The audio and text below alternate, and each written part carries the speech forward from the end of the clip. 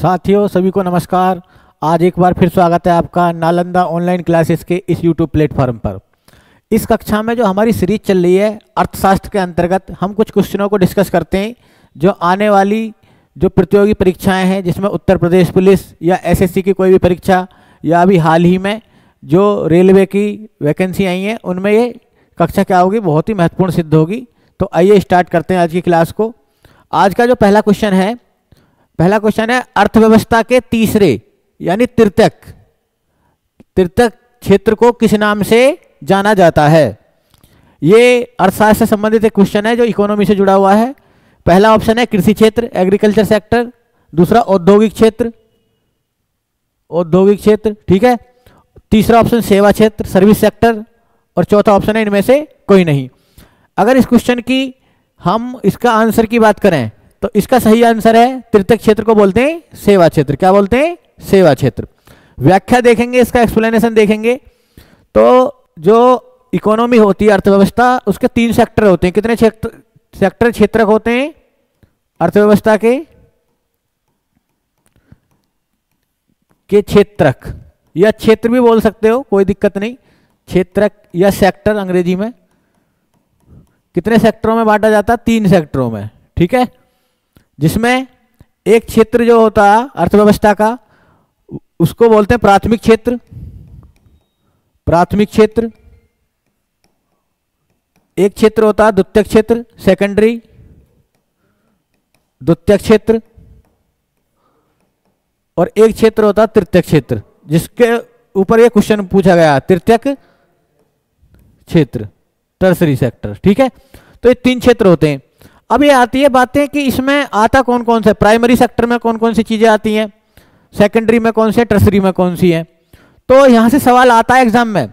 अब यही सवाल नहीं डिस्कस करेंगे हम। इसकी व्याख्या देखेंगे ताकि इस टॉपिक से अगर क्वेश्चन आए जो पूछे जाते हैं, वो क्लियर हो जाए। तो इसमें देखो, सबसे पहले याद रखना आप कि प्राथमिक क्षेत्र में जो आता है, कृषि भी। कृषि क्षेत्र को इसमें शामिल करा गया है। इसका एक नाम कृषि क्षेत्र भी है। क्या है इसका एक नाम? कृषि क्षेत्र। द्वितीय क्षेत्र की बात करें तो इसका एक नाम है औद्योगिक क्षेत्र या उद्योग क्षेत्र। औद्योगिक क्षेत्र। और तृतीय क्षेत्र को हम सेवा क्षेत्र के नाम से जानते हैं। सर्विस सेक्टर, सेवा क्षेत्र। तृतीय क्षेत्र को क्या बोलते हैं? सेवा क्षेत्र। तो सबसे पहले तो ये याद रखना, प्राथमिक क्षेत्र में एग्रीकल्चर दूसरे में उद्योग और तीसरे में सेवा सर्विस सेक्टर अब इसमें क्या क्या चीज़ें शामिल आती हैं? जो इकोनॉमी का, अर्थव्यवस्था का प्राथमिक सेक्टर होता है, उसमें जितने भी प्राकृतिक चीज़ें होती हैं, जो हमें प्रकृति ने उपहार स्वरूप दी हैं, वो सभी इसमें शामिल करी जाती हैं। यानी जो प्रकृति द्वारा प्रदत्त चीज़ें हैं, ठीक है ना? तो इसमें हमारा कृषि हो गया। अगर बात करें हम तो इसमें कृषि कृषि के साथ साथ वन या वान की, ठीक है ना फॉरेस्ट इसी में आते हैं। इसी में देखो, वनों से लकड़ी प्राप्त हो तो वो किसका प्राथमिक क्षेत्र में आता, आएगा? कृषि से कोई भी प्रोडक्ट प्राप्त होता है गेहूँ, मक्का, चावल, वो क्या है सब? एग्रीकल्चर किसमें है? प्राथमिक क्षेत्र में, जो प्रोडक्ट होंगे। इसी में आएगा आपका खनन। क्या आएगा? खनन, ठीक है? जितने भी हम माइनिंग करते हैं कोई भी खनन निकाल, खनिज पदार्थ निकालते हैं, ठीक है? चाहे कोयला निकालें या धरती के अंदर से क्या निकालें? सोना। तो ये भी सब क्या किसमें आता? खनन भी प्राथमिक क्षेत्र में। इसी में प्राथमिक क्षेत्र में और क्या आता? मछली पालन। मछली पालन। ये पूछा जाता है इंपॉर्टेंट ये तो कई बार पूछा गया एग्ज़ाम में, ठीक है? कि मछली पालन किसमें आ गया क्योंकि देखो, मछलियाँ भी प्रकृति की ही देन है। मनुष्य उनको पालता ज़रूर है, परंतु देन किसकी है? पृथ्वी की। तो वो भी किसमें शामिल होती है? प्राथमिक क्षेत्र में, ठीक है? दूसरा, औद्योगिक क्षेत्र में क्या आती है? ठीक है? औद्योगिक क्षेत्र में कोई भी वस्तु जिसका निर्माण किया जाएगा मैन्युफैक्चरिंग होगी। इसको मैन्युफैक्चरिंग सेक्टर बोलते हैं। क्या बोलते हैं? विनिर्माण क्षेत्र। विनिर्मित वस्तुएँ इसमें आएँगी, जिनका निर्माण करा जाएगा। और ये निर्माण जो होगा, जो प्राथमिक क्षेत्र की वस्तुएँ, उन्हीं से इसका निर्माण होगा, ठीक है? जो द्वितीय क्षेत्र की वस्तुओं का निर्माण होगा, वो इसी से होगा। जैसे प्राथमिक क्षेत्र ने हमें क्या दिया? जैसे गेहूँ दिया। अब गेहूँ को पीसकर हमने क्या बना दिया? मशीनों के द्वारा आटा बना दिया। क्या बना दिया उसका? आटा। तो आटा कौन सा होगा विनिर्माण क्षेत्र में। आटे से ही क्या बना दिया? आटे से ब्रेड बना दो। ठीक है ना? आटे से समोसा बना के बेच दो, मैदा बना के उसका। तो वो किसमें आ गया? औद्योगिक क्षेत्र में। विनिर्मित वस्तुएँ इसी में आती हैं। यानी निर्माण क्षेत्र। मैन्युफैक्चरिंग वाले। मैन्युफैक्चरिंग सेक्टर भी इसको आप बोल सकते हो, ठीक है? तीसरा सेवा क्षेत्र। सेवा क्षेत्र जिसको सर्विस सेक्टर है, इसमें सभी प्रकार की सेवाएँ। ठीक है, जैसे कोचिंग भी एक प्रकार का क्या है? कोचिंग, इंस्टीट्यूट चलाना, लोगों को सेवा देना, उसके बदले क्या लेते हैं? पैसे लेते हैं। इसी प्रकार से जो रेस्टोरेंट में आप खाना खाने जाए तो रेस्टोरेंट वाला आपको खाना खिलाता, ठीक है? वो भी क्या चला रहा? एक सर्विस सेक्टर में इन्वॉल्व है रेस्टोरेंट वाला भी, वो भी सेवा दे रहा है, उसके बदले आपसे पैसे लेता है, ठीक है? तो इसमें बहुत चीज़ें शामिल होती है, जैसे कि परिवहन। अगर आप यात्रा कर रहे हो, किसी रोडवेज़ बस में कर रहे हो या कोई भी प्राइवेट गाड़ी में भी कर रहे हो तो परिवहन सेक्टर भी उसमें आता सेवा क्षेत्र में। वो भी एक प्रकार की सर्विस है। परिवहन इसमें आएगा संचार, ठीक है? यानी मोबाइल वाली मोबाइल कंपनियाँ भी सेवा उपलब्ध कराती हैं, ये भी सर्विस सेक्टर है, ठीक है? सूचना एवं प्रौद्योगिकी, इसी में शामिल हो जाएगा। और इसी में आपका क्या? कोचिंग सेंटर भी लिख सकते हो। कोचिंग सेंटर, रेस्टोरेंट रेस्टोरेंट, ठीक है? तो ये ऐसा नहीं है कि रटना है, अनुमान लगा लेना, ठीक है ना? जो सेवाएँ देते हैं, जैसे बैंकिंग भी, बैंक वाले भी क्या कराते हैं, हमको सेवा उपलब्ध कराते हैं, ठीक है? तो बैंकिंग भी किसमें आएगी?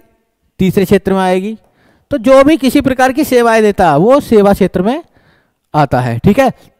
बहुत इंपॉर्टेंट है, याद रख लेना, पहले में कौन से में? एग्रीकल्चर पहले क्षेत्र में, दूसरे में उद्योग क्षेत्र और तीसरे में सर्विस सेक्टर फिर देखो सवाल, एक एग्ज़ाम्पल से और समझना। जैसे हमने पहला एग्ज़ाम्पल दिया था, गेहूँ। गेहूँ का उत्पादन हुआ तो प्राइमरी सेक्टर में आ गया। उससे आटा बनाया या समोसे निर्माण कर लिए उससे, या कोई भी प्रोडक्ट और बना दिया, या ब्रेड बना दिया, उसको क्या कर दिया? उसको बना दिया तो वो औद्योगिक क्षेत्र में और उसको पैकिंग करके, फिर पैक कर दिया उसको, ठीक है ना? तो जब पैक करा गया उसको, फिर उसको बेचा गया दुकानदार के द्वारा, ठीक है ना?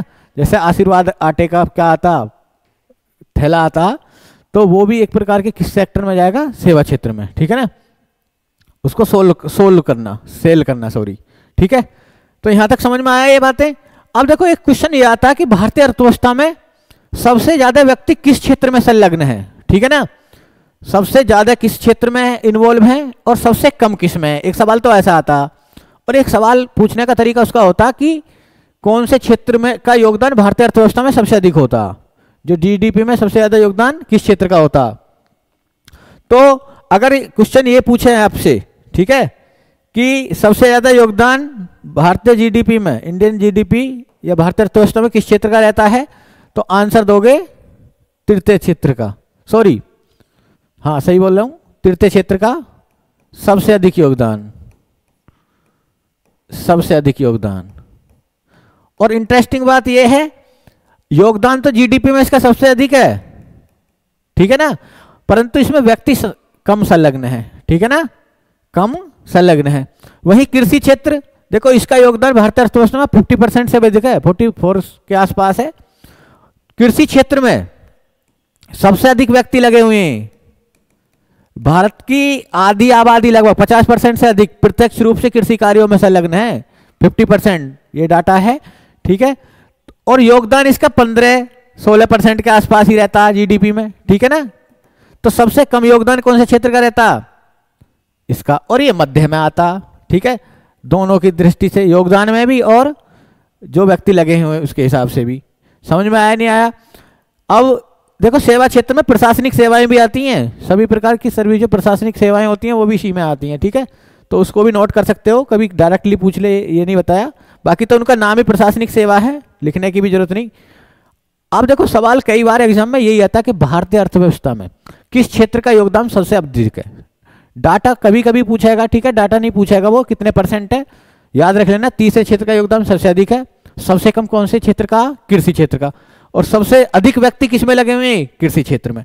तो ये तीनों क्षेत्र थे, ठीक है ना? इनको नोट करो, फिर हम अगले क्वेश्चन को देखेंगे, ठीक है? अगला जो क्वेश्चन है, आज का दूसरा क्वेश्चन ग्रेसम का नियम किससे संबंधित है?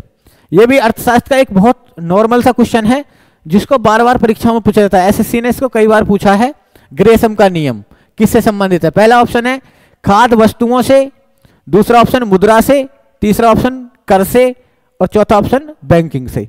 ठीक है? तो अगर हम ग्रेसम के नियम की बात करें तो इसका सही आंसर क्या जाएगा? मुद्रा। किससे संबंधित है ये? मुद्रा से। देखते हैं ग्रेसम के नियम क्या कहता है। ग्रेसम महोदय क्या कहते हैं? ठीक है? देखो ग्रेसम एक महान अर्थशास्त्री हुए हैं। उन्होंने एक मुद्रा से संबंधित एक रूल दिया था।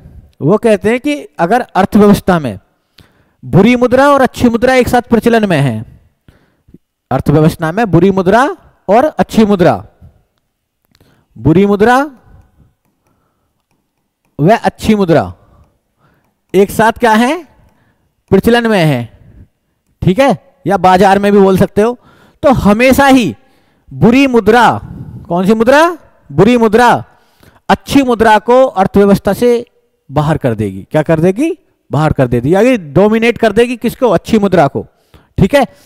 देखो, इसको एक सिंपल नॉर्मल से उदाहरण से हम समझेंगे। हालाँकि ये इससे संबंधित तो है नहीं, फिर भी समझने के लिए बहुत अच्छा है।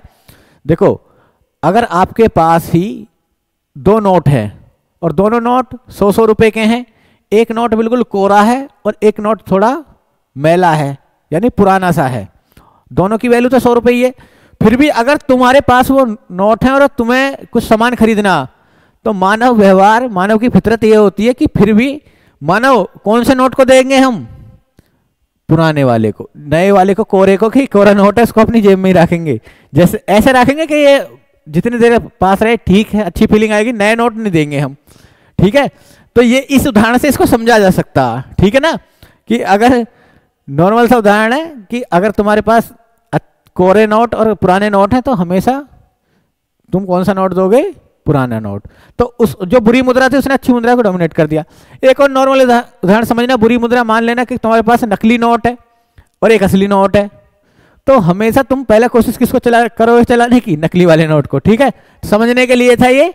और किससे संबंधित है ये? ग्रेसम का नियम। ये मुद्रा से संबंधित है। कई बार सवाल आया, ठीक है ना? कि बुरी मुद्रा हमेशा से अच्छी मुद्रा को मार्केट से बाहर कर देती है, ठीक है? तो ये ग्रेसम का नियम था। इसी अन्य विकल्प में हम बात करेंगे, ठीक है ना? ये तो हमने देख ली। अब देखो, इसके अन्य विकल्पों की अगर हम बात करें तो एक इसमें ऑप्शन दिया है ऑप्शनों की बात करें तो खाद वस्तुओं से। किससे? खाद वस्तुओं से। देखो, अभी इसी क्लास में हम चर्चा कर लेंगे, खाद वस्तुओं से भी संबंधित एक भोजन पर या खाने वाली चीज़ों पर जो खर्चे से संबंधित भी एक वक्र या रूल बोल दो, जिसको हम एंजिल का नियम भी बोलते हैं क्या बोलते हैं? एंजिल। एंजिल का नियम? नियम। या इसको एंजिल का वक्र वक्र के नाम से भी आ जाता है कर्व के नाम से ठीक है? टेंशन नहीं लेना बस समझ लेना और बिल्कुल सवाल बिल्कुल सिंपल आएगा। ये कई बार पूछा हुआ है कि एंजिल का नियम या एंजिल वक्र का संबंध किससे है ठीक है? तो फिर ये ऐसे ही ऑप्शन देगा। तो इसमें से ऑप्शन फिर आप चुनोगे जब एंजिल की बात होगी तो खाद्य वस्तुओं से। देखो एंजिल महोदय क्या कहते हैं? एंजिल महोदय ये कहते हैं, कोई भी व्यक्ति है या कोई परिवार है जैसे जैसे उसकी इनकम बढ़ती जाती है, उसकी आय में वृद्धि होती जाती है तो उसका भोजन पर जो खर्च होता है उस परिवार का या उस व्यक्ति का जो भोजन पर खर्च होता है, उसमें प्रतिशत में क्या आने लगती है? कमी आने लगती है। बहुत सिंपल सा है, साधारण सा रूल है, ठीक है ना? खाद्य वस्तुओं से, भोजन या खाद्य वस्तुओं से संबंधित है, खाद्य वस्तुओं से, ठीक है? और मैंने आपको बता दिया जैसे जैसे किसी व्यक्ति या परिवार की आय में वृद्धि होती चली जाती है वैसे वैसे ही उसका भोजन पर से खर्च क्या हो जाता प्रतिशत में कम हो जाता। एक एग्ज़ाम्पल से समझना इसको भी ये भी एग्ज़ाम्पल से क्लियर हो, जाएगा बिल्कुल ठीक है? एक एग्ज़ाम्पल मानना एक कोई व्यक्ति है ठीक है ना? व्यक्ति मान लेना या परिवार मान लो जो भी आप मानना चाहो वो मान सकते हो। सपोज़ वो सौ रुपए कमाता कितने रुपए कमाता? सौ रुपए ठीक है? और वो भोजन पर खर्च कितना करता? वो सपोज़ मान लेना कि बीस रुपए का भोजन कर लेता। दिन में कितने रुपए का भोजन कर लेता? बीस रुपए का। तो उसने अपनी आय का कितना परसेंट? बीस परसेंट भोजन पर खर्च कर लिया। फिर कोई दूसरा व्यक्ति है? बी। नहीं, यही व्यक्ति है या ऐसे मानना। यही इसको ही मान लेना। फिर अगर इसकी आय में वृद्धि हो गई और ये सपोज़ एक हज़ार रुपये पर डे का कमाने लग जाए, कितना? एक हज़ार रुपये दूसरा व्यक्ति भी मान सकते हो, कोई ऐसा वो नहीं है समझने के लिए सिर्फ़ तो अब यही व्यक्ति जब एक हज़ार रुपये पर डे कमाएगा तो ये खाएगा तो भोजन ही। तो भोजन ऐसा हो सकता है कि पहले ये दाल रोटी खाता हो, अब मटर पनीर खा लेगा। या नॉन वेजिटेरियन है तो चिकन या मटन खा सकता है, ठीक है? और भी खा सकता है, उसकी इच्छा पर निर्भर है, ठीक है? तो फिर वो मैक्सिमम मान लेना कि बीस की जगह सौ रुपए का खाना खा लेगा। कितने रुपए का? सौ रुपए का खाना, ये लिखना। उसने सौ रुपए का खाना खा लिया अब, ठीक है? तो पहले वो बीस परसेंट खर्च कर रहा था, अब सौ कितना? एक हज़ार का दस परसेंट। तो पहले वो बीस परसेंट खर्च करता था भोजन पर, अब कितना कर रहा? दस परसेंट। इससे एक और बात निकल के आती है, एक और बात देखो निकल के आती है, इसी किससे, एंजिल के वक्र से, एंजिल के नियम से आती है एक बात निकल के कि गरीबों का अधिकतम व्यय तो भोजन पर ही खर्च हो जाता है। जिनकी आय कम होती है, ऐसे व्यक्तियों का अधिकतम खर्च किसका होता? भोजन का। ठीक है? तो ये एंजिल वक्र था। इसको देखो, वक्र के माध्यम से भी हम देख सकते हैं। नोट कर लो पहले इसको। ग्राफ के माध्यम से देखें अगर।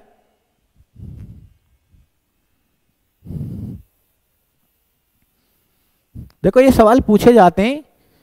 एग्ज़ाम में तो याद कर लेना इनको, अच्छे से समझ लेना। देखो, अगर वक्र में देखें वक्र के रूप में देखें तो भोजन पर खर्च, इधर लिख लो, भोजन पर खर्च, भोजन का मतलब खाने पीने पर खर्च, ठीक है ना? भोजन का है मतलब यहाँ आय होगी इसकी, ठीक है? अब देखो, इसका वक्र अगर हम बना के समझें, ये, ठीक है? तो आय यहाँ पर, ऐसा होता है जैसे आय में जैसे वृद्धि इधर को होगी, भोजन में खर्च पर वृद्धि इधर को होगी, ठीक है? तो अब जब यहाँ पर देखना, जब ये अधिकतम है, क्या है? आय अधिकतम है तो भोजन पर उसका खर्च क्या है? न्यूनतम। और अब जब आय कम है तो भोजन पर खर्च क्या है?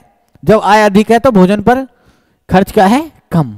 ठीक है? तो इस वक्र के रूप में भी इसको ऐसे हम समझ सकते हैं। वक्र वैसा पूछा नहीं जाएगा, फिर भी समझने के लिए है कि आय में वृद्धि करेंगे, जब आय अधिक होगी तो भोजन पर खर्च इधर से आ गया, कम। ठीक है?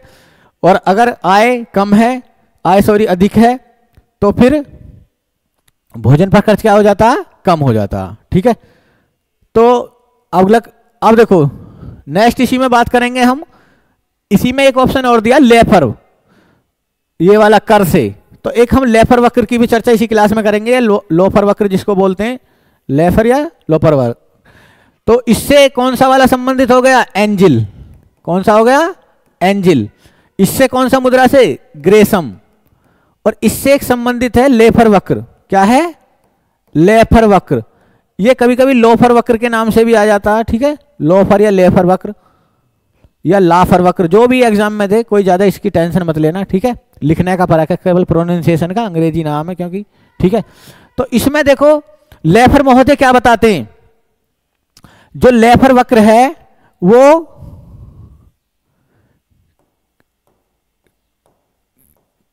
कर की दर। और किसमें राजस्व। मैं संबंध बताता, पहले तो ये पॉइंट लिखना। राजस्व, यानी इनकम जितना रेवेन्यू प्राप्त होता, और कर मतलब टैक्स तो रेवेन्यू और किसके मध्य संबंध दर्शाता है? रेवेन्यू और रेवेन्यू और टैक्स के मध्य संबंध को दर्शाता। कौन सा वक्र? लेफर वक्र। इसमें क्या है? देखो, लेफर वक्र, लेफर महोदय ये कहते हैं कि जब अगर कर की दर में वृद्धि करते जाते हैं तो एक सीमा तक तो हमें राजस्व की अधिक प्राप्ति होती है, ठीक है ना? यानी अगर हम कर की दर बढ़ाते चले जाएँगे तो एक सीमा ऐसी आएगी, वहाँ तक तो हमें राजस्व जो है, पैसे ठीक ठाक इनकम प्राप्त होगी। परंतु उससे पार जाने पर अगर तुम बढ़ाते ही चले जाओगे टैक्स की दर तो फिर क्या होने लगेगी? राजस्व में कमी आने लगेगी। यह है लेफर वक्र। लेफर महोदय का सेंटेंस समझ में आया? सिद्धांत? इनका सिद्धांत क्या है कि अगर तुम किसको बढ़ाते चले जाओगे, किसको? कर की दर को। ये बढ़ाते चले गए तो राजस्व भी बढ़ता चला जाएगा एक सीमा तक। राजस्व बढ़ गया। परंतु अब जब तुम बार बार ही बढ़ाते जाओगे और उस कर की दर को बढ़ाते जाओगे तो फिर किसमें राजस्व में भी क्या आने लगेगी? गिरावट आने लगेगी। राजस्व में क्या आने लगेगी? गिरावट। इसका मतलब यह समझे कि कर की दर क्या रखनी चाहिए? एक मध्यम, यानी गौतम बुद्ध के तरीके का माध्यम वाला रास्ता अपनाना चाहिए। ना कर की दर अधिक होनी चाहिए, ना कर की दर ज़्यादा होनी चाहिए। एग्ज़ाम्पल से अगर हम ऐसे समझें, ऐसा होता क्यों है? देखो तुम ही सोचो, मानव की फितरत क्या होती है? कोई व्यक्ति सौ रुपए कमाता इनकम कितनी है उसकी? सौ रुपए। और उसको टैक्स के रूप में प्रारंभ में टैक्स की दर कितनी थी? पाँच परसेंट थी। कितनी थी? पाँच परसेंट थी। फिर सरकार ने दर बढ़ा दी, सपोज़ दस परसेंट कर दी तो पहले पाँच रुपए वसूल लेती थी सरकार, उससे फिर दस वसूलने लगी फिर कर की दर बढ़ा दी, पंद्रह, तब तक भी वो देता रहा कर। फिर सरकार ने टैक्स की दर कितनी कर दी? बीस कर दी, ठीक है? कि सौ रुपए में से बीस रुपए हमें दोगे। तो उस समय इंसान फिर कर की चोरी कैसे करी जाए? कर ना देना पड़े, इसके उपाय सोचने लगता और फिर कर देता नहीं है। इनकम टैक्स चोरी जिसको बोला जाता है ठीक है ना? तो यही है किसका कथन? लेफर महोदय का। तो ये तीनों कॉन्सेप्ट आप क्लियर कर लेना। कौन कौन से? ग्रेसम का नियम, जो मुद्रा से संबंधित था। एंजिल का नियम, जो खाने पीने वाली वस्तुओं से संबंधित है और तीसरा आपका लेफर वक्र या लोफर वक्र दूसरा क्वेश्चन था। इसको नोट करें, फिर अगला क्वेश्चन देखते हैं। नेक्स्ट क्वेश्चन नेक्स्ट क्वेश्चन है इडा का मुख्यालय कहाँ पर है? ठीक है ना? इडा का मुख्यालय कहाँ पर है? ये भी कई बार एग्ज़ाम में सीधा सीधा सवाल आता। कुछ संस्थाएँ ऐसी हैं जिनके मुख्यालय पूछे जाते हैं, जिसमें इडा हो गया, राष्ट्रीय ग्रामीण विकास बैंक हो गया, तुम्हारा नाबार्ड हो गया, ठीक है, सिडबी हो गया। तो बहुत इंपॉर्टेंट है, ये बार बार परीक्षा में घूमते रहते हैं सवाल। तो इसके ऑप्शन है इडा का। पहला नई दिल्ली, दूसरा कोलकाता, तीसरा हैदराबाद, ठीक है, चौथा नागपुर। ये चार ऑप्शन है। तो सीधा याद रखने के हिसाब से तो इसका मुख्यालय कहाँ पर है? हैदराबाद। कई बार एग्ज़ाम में सवाल आता, हैदराबाद, तेलंगाना में इसका मुख्यालय है। अगर ईडा की हम बात करें, अब हमें पता होना चाहिए ईडा है क्या, ठीक है? तो सबसे पहले ईडा की देखो फुल फॉर्म। अगर मैं इंग्लिश में बात करूँ इसकी फुल फॉर्म की तो insurance insurance, R N, insurance, regulatory, tree regulatory development development authority of India authority of India देखो कभी कभी इर्डा के नाम से आता और कभी कभी ये ऐसे भी लिखा आ सकता I R D A I insurance regulatory development authority of India इस नाम से भी आई बाद में भी लिखा आ सकता है ठीक है? तो ज़्यादा कंफ्यूज मत हो ना हिंदी में इसकी जो फुल फॉर्म बैठती है वो बीमा विनियामक विनियामक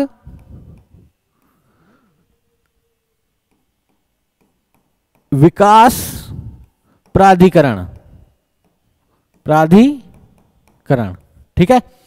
सबसे पहले हमको देखो, ये मालूम होना चाहिए कि है क्या, एडा है क्या, ठीक है? तो एक सेंटेंस में याद रखना कि एडा बीमा क्षेत्र की इंश्योरेंस सेक्टर की बीमा क्षेत्र की सबसे बड़ी संस्था है। सबसे बड़ी संस्था। कई बार तो क्वेश्चन यही एग्ज़ाम में आता है, बीमा क्षेत्र की। जो हम बीमा कराते हैं ना, जैसे एलआईसी से बीमा कराते हैं, ठीक है ना?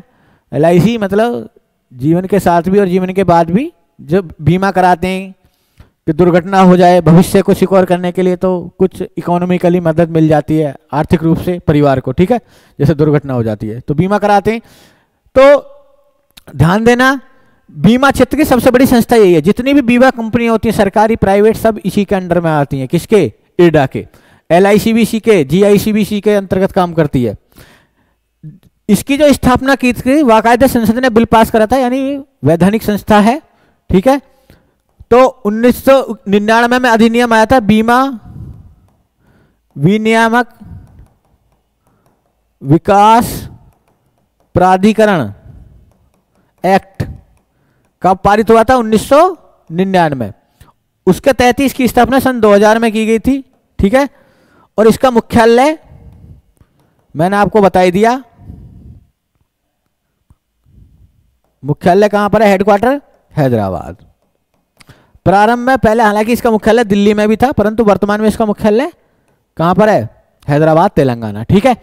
तो याद रखना ये बीमा क्षेत्र की सबसे बड़ी अथॉरिटी या संस्था है, या एजेंसी है। क्या? ये। साथ ही साथ देखो, ध्यान रखना एलआईसी से एल पर टिक मत कर देना संस्था पूछे, या एजेंसी पूछे बीमा क्षेत्र की। एलआईसी जो है, जीवन बीमा निगम, ठीक है, ये सबसे बड़ी कंपनी है सरकारी, सबसे बड़ी बीमा क्षेत्र की कंपनी, बीमा कंपनी, पब्लिक सेक्टर की, ठीक है। इसकी भी स्थापना कब हुई थी, याद रख लेना, एक सितंबर एक सितंबर 1956 को इसकी स्थापना हुई थी और इसका मुख्यालय मुंबई में है। किसका? एलआईसी का। एलआईसी के बारे में इतना याद रख लेना, ठीक है? अब तो प्राइवेटाइजेशन लेके आ रही है सरकार धीरे धीरे शायद दस परसेंट शेयर बेच दिए गए प्राइवेट क्षेत्र को, ठीक है? फिर भी एलआईसी सरकारी क्षेत्र की बीमा में, बीमा कंपनियों में सबसे बड़ी कंपनी है, ठीक है? जिसकी स्थापना उन्नीस सौ छप्पन में हुई थी, मुख्यालय उसका मुंबई में है। इर्डा और एल के बारे में हुई। अगला देखो नेक्स्ट क्वेश्चन देखेंगे हम। आज का जो चौथा क्वेश्चन है, सिडबी का मुख्यालय कहाँ है? सिडबी। ये मुख्यालय भी कई बार पूछा जाता और क्योंकि उत्तर प्रदेश में है, इसका मुख्यालय उत्तर प्रदेश के एक शहर में है तो उत्तर प्रदेश पुलिस के लिए इंपॉर्टेंट क्वेश्चन है। ऑप्शन मुंबई, नई दिल्ली, लखनऊ और हैदराबाद। तो आप क्लू मैंने दे दिया आपको, समझ गए हो होगे आप। Option C right answer SIDBI. SIDBI जो बैंक है भारतीय फुल फॉर्म में इसको बोले भारतीय लघु औद्योगिक औद्योगिक विकास बैंक। विकास बैंक, ठीक है? Small industrial development bank of India SIDBI small industrial development bank of India small industrial development bank of India ये इसकी क्या है? फुल फॉर्म है। स्थापना की बात करें अगर हम तो 1990 में इसकी स्थापना करी गई थी। ठीक है? हेडक्वार्टर यहाँ पर आएगा आपका। हेडक्वार्टर कहाँ है? लखनऊ। ठीक है? और शायद एस रमन इसके वर्तमान में अध्यक्ष भी हैं। ठीक है? याद रखना है एक क्वेश्चन ये छोटे ठीक ना माइक्रो और मध्यम उद्योगों के लिए ऋण उपलब्ध कराता। छोटे व मध्यम उद्योगों के लिए के लिए ऋण ऋण देता है। कौन? श्रीवी बैंक, ठीक है ना? एक योजना चल रही है भारत सरकार की मुद्रा योजना, ठीक है ना? 2015 में आई थी मुद्रा योजना। तो मुद्रा योजना में जो मैन एजेंसी है वो कौन सा बैंक है? सीडीबी बैंक, ठीक है? तो इसको भी आप याद कर लेना। देखो, मुंबई में कौन कौन से बैंक नाबार्ड भी मुंबई में हो गया था, ठीक है? और आरबीआई भी मुंबई में था। नई दिल्ली में पीएनबी का मुख्यालय है, ठीक है? हैदराबाद में अभी इडा का बताया। हैदराबाद में एक और याद रखना संस्थान, राष्ट्रीय ग्रामीण विकास बैंक हैदराबाद में है। राष्ट्रीय ग्रामीण? ये कई बार क्वेश्चन पूछा जाता है। राष्ट्रीय ग्रामीण विकास बैंक। ठीक है? तो ये अच्छा क्वेश्चन है, इसको भी याद करना। कई बार परीक्षा में डायरेक्टली आता है, राष्ट्रीय ग्रामीण विकास बैंक का मुख्यालय कहाँ पर है? हैदराबाद, ठीक है? नोट करें इसको, अगला क्वेश्चन देखते हैं फिर हम। भारत में सर्वप्रथम राष्ट्रीय आय का अनुमान किसने लगाया था? ठीक है? क्योंकि इतिहास में भी ये क्वेश्चन आता, यहाँ पर भी पूछा गया। बहुत नॉर्मल आंसर है इसका। पहला ऑप्शन दिया दादा भाई नौरोजी जवाहरलाल नेहरू, श्रीमन नारायण अग्रवाल और चौथा एम विश्वेश रैया। ये चार ऑप्शन दिए चारों में सही आंसर क्या है? सर्वप्रथम राष्ट्रीय आय का अनुमान लगाने वाले व्यक्ति कौन थे? दादा भाई नौरोजी। ठीक है? दादा भाई नौरोजी ने ही अठारह सौ में, ठीक है ना, सर्वप्रथम राष्ट्रीय आय का अनुमान लगाया था। उस समय इन्होंने प्रति व्यक्ति प्रति व्यक्ति वार्षिक आय कितनी बताई थी? मात्र बीस रुपए। उस समय कितनी थी? ट्वेंटी रुपए। ठीक है ना? बीस रुपए बताई थी किसने? दादा भाई नौरोजी ने। तो ये भी याद रखना दादा भाई नौरोजी को क्या बोलते हैं? Grand old man of India क्या बोलते हैं? Grand old man of India बोलते हैं इनको। ठीक है? और इन्होंने ही सर्वप्रथम ये बताया था कि भारत का धन भारत से बाहर किस प्रकार जा रहा? यानी धन का निष्कासन कैसे हो रहा? तो धन के निष्कासन या निर्गमन का सिद्धांत का प्रतिपादन किया था, जिसको क्या बोलते हैं? The theory of theory of drain wealth drain wealth W E L T H English में लिख लो. The theory of drain wealth या ड्रेन वेल्थ की थ्योरी किसने दी थी? तो आंसर भी क्या दोगे? दादा भाई नौरोजी। ठीक है? नोट करें फिर अन्य विकल्पों पर चर्चा करेंगे। देखो, इकोनॉमिक्स से जुड़ा हुआ जवाहरलाल नेहरू से भी संबंधित एक सवाल आता, बहुत इंपॉर्टेंट सवाल बार बार पूछा जाता। जब कांग्रेस का उन्नीस सौ अड़तीस में हरिपुरा अधिवेशन चल रहा था, कौन सा अधिवेशन? हरिपुरा। हरिपुरा जगह है गुजरात में, ठीक है ना? तो जवाहरलाल नेहरू से 1938 में हरिपुरा अधिवेशन हरिपुरा अधिवेशन चल रहा था, ठीक है? इसके अध्यक्ष कौन थे? सुभाष चंद्र बोस। सुभाष चंद्र बोस।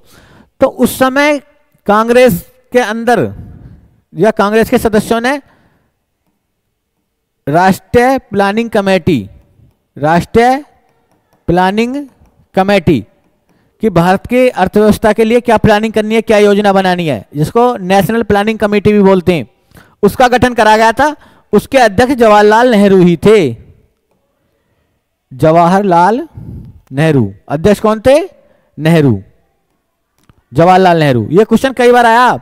कंफ्यूज होता हैं बच्चे। जब पूछा जाता सवाल कि उन्नीस सौ अड़तीस में कांग्रेस के हरिपुरा अधिवेशन में जो नेशनल प्लानिंग कमेटी का गठन हुआ, उसके अध्यक्ष कौन थे? नेशनल प्लानिंग कमेटी के। तो आंसर क्या दोगे? जवाहरलाल नेहरू। और उस अधिवेशन की अध्यक्षता किसने करी? सुभाष चंद्र बोस ने। ठीक है? अगर हम श्रीमन नारायण अग्रवाल की बात करें तो इन्होंने इंडियन इकोनॉमी से संबंधित जो योजनाओं में एक योजना दी थी, गांधीवादी योजना। कौन सी योजना? गांधीवादी योजना। इनको हम पढ़ाएँगे, जब योजना वाले क्वेश्चन लेके आएँगे तो फ़िलहाल में याद रख लेना, क्योंकि ये यूपी पीसीएस में भी एक बार सवाल आया हुआ गांधीवादी योजना 2016 में आया था, किसने प्रस्तुत की थी? श्रीमन नारायण अग्रवाल। एम विश्वेश्वरैया, भारतीय अर्थव्यवस्था की प्लानिंग करने वाले पहले व्यक्ति थे। इन्होंने पुस्तक लिखी थी planned economy for India planned economy